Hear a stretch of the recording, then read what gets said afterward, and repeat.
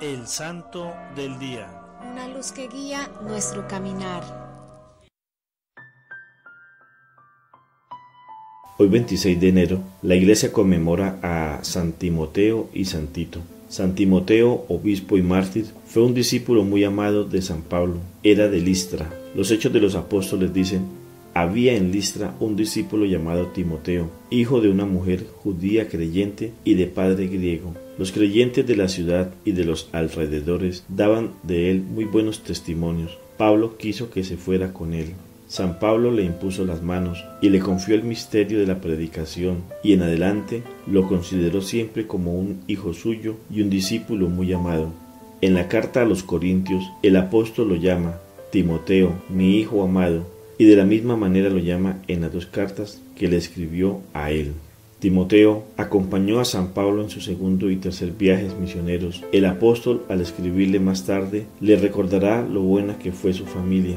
Quiero refrescar el recuerdo de la gran fe que había en tu familia, en tu abuela Loida y en tu madre Eunice, que esa fe se conserve en ti, ya que desde tu más tierna infancia te hicieron leer y meditar las sagradas escrituras. La familia de Timoteo progresó mucho en santidad cuando San Pablo y San Bernabé estuvieron hospedados en su casa en Listra. Después de viajar con él en sus correrías de predicación por varios países, Timoteo acompañó a San Pablo en la prisión que tuvo que sufrir en Roma, pues en las cartas que desde Roma escribió el gran apóstol anuncia que lo está acompañando Timoteo, su fiel discípulo.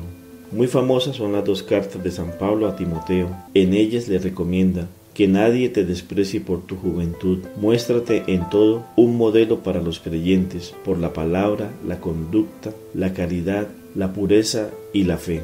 El historiador Eusebio dice que San Pablo nombró a Timoteo como obispo de Éfeso y San Juan Crisóstomo afirma que fue nombrado presidente de los obispos de esa región.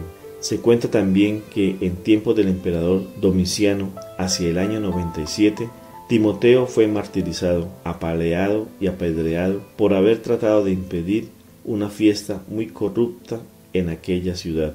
San Juan Crisóstomo y San Jerónimo narran que, junto a los restos o reliquias de San Timoteo, los cristianos obtenían muy grandes favores de Dios. Lo que más simpatía le atrae a San Timoteo es haber sido discípulo siempre fiel y muy preferido del gran San Pablo. Nuestro otro santo del día de hoy es San Tito, obispo del primer siglo. Tito fue discípulo y secretario de San Pablo acompañó al apóstol en muchos de sus viajes. En las dos cartas a los Corintios, San Pablo declara que él confía plenamente en su discípulo Tito y a él lo envía a tratar de que los cristianos cumplan lo que les ha dicho en sus cartas y después dice que ha quedado muy satisfecho por las noticias que Tito le ha traído. San Pablo lo nombró obispo de la isla de Creta y le escribió una bella carta señalándole las cualidades que deben tener los sacerdotes Parece que murió muy anciano y venerado. Tito significa defensor, que Él sea nuestro defensor contra los errores que atacan a nuestra religión.